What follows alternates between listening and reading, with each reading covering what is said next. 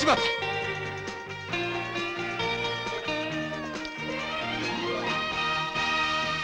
お前がやったのか。一体何者だ。K の一味か。レインボー！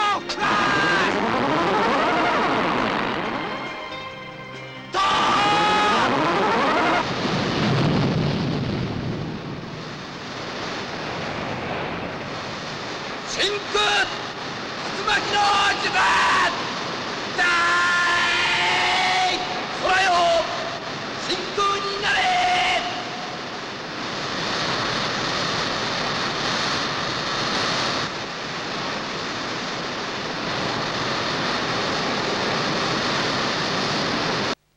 レインボーマン。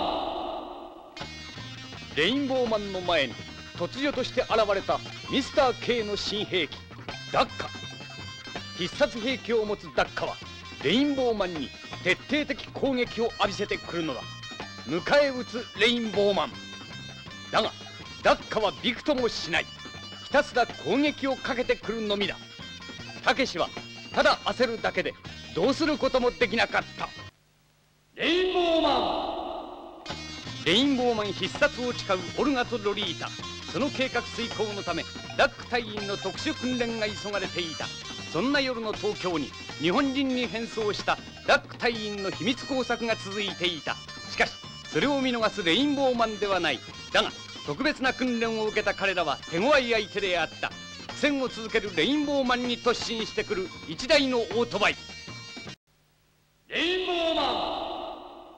たけしの恋人吉江を付け狙うオルガの目。またロリータは吉江を誘拐。一体その目的とは何か。